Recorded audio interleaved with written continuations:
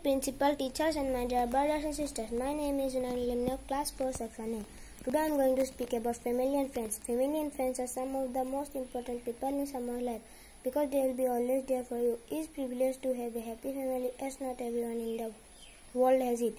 The joy of living with parents, fighting with siblings over pity just makes me smile the moment I think of it. Family is where love begins and never ends. My family consists of nine members. My father and uncle is a businessman.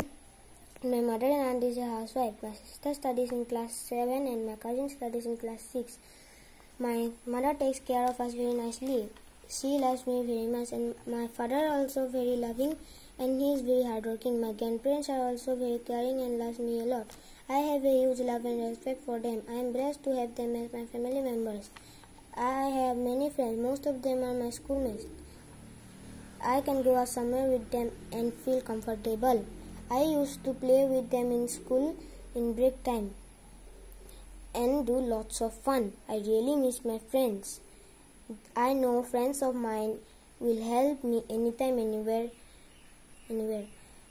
My I have one best friend who always help me in my studies. Thank you.